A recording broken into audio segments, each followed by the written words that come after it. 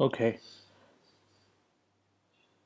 Okay, so let's go ahead and see how you can create a free iTunes account, a free Apple ID. So when we try to create an Apple ID, I just clicked on sign in. Now I'm clicking on create Apple ID. Continue. I have read and agreed to these terms and conditions. Agree again. Let me just quickly put in some basic information.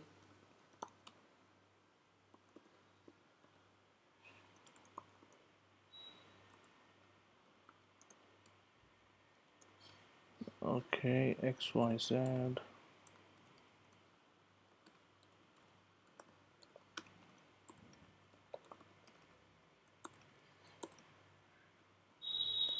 okay so now as I click on continue it asks me for card information or some sort of billing information that I need to put so that I can continue and go ahead and create my Apple account or Apple ID now this happens there is a way to have a button over here that says none selecting which you do not have to put any billing information.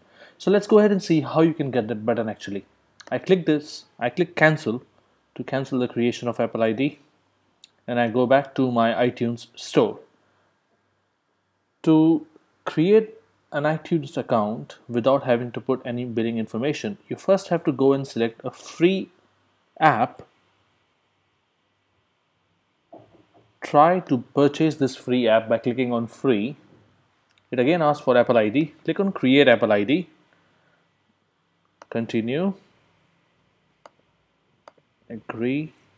Again quickly I'll put the same information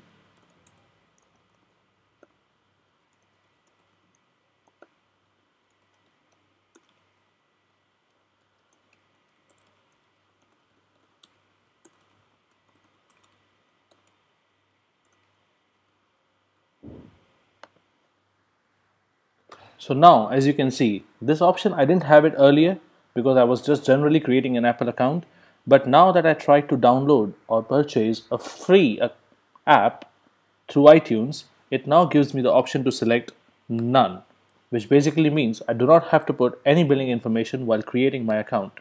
Let me just quickly go ahead and create my account.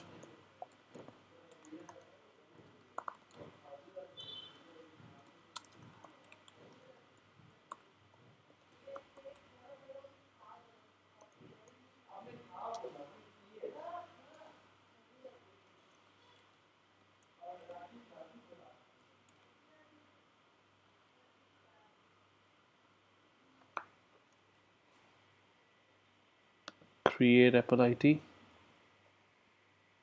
and there you go. It's done. It is actually sent a verification email on a at excel.com now this is just a pseudo email address but hey it works. So now you know that to create a free iTunes account free in the sense without having to put any billing information all you need to do is try to download a free app from iTunes and then when it asks to sign in with your Apple ID, click on create a new Apple ID and go ahead and create your ID. On the billing information page, select the none option. That's it. Thank you for watching. Bye.